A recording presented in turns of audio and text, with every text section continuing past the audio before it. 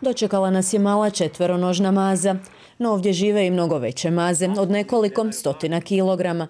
Ljubav koju Stjepan gaji prema gelove govedima razgalit će vam srca. Zato smo se e, jednostavno za tu rasu odlučili, jer e, ona je pitoma, mirna, ona vam vište, ja kad sam, da sam sad uzet tamo češem za česat, pa počnem česat jednu, za čas su svi oko mene, hoće da ih češem. One su toliko dobrodušne, ne, da ih slušaju. To je, to je nevjerovatno kako one slušaju. Na imanju kod Varaždinskih toplica imaju 15 grla ove najstarije pasmine goveda. Zahvalna je za uzgoj i poznata po vrhunskom mesu. Ja sam tu e, siguran da ne bude problema sa e, plasmanom tog mesa, jer ovo je nešto što je u prirodi raslo, nikakav antibiotik, nikakve lijekove. U sretnom suživotu s gorostasima žive i kamerunske ovce.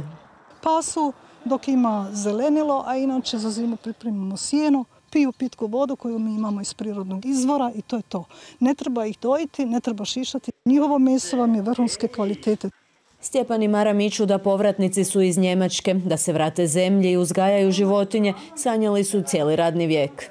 To je nešto posebno, one vam daju snagu, to one vas e, jednostavno, vi zaboravite ako vas nešto i boli. One su točno lijek. Živina je uz nas sretna i mi uz njih, to je to.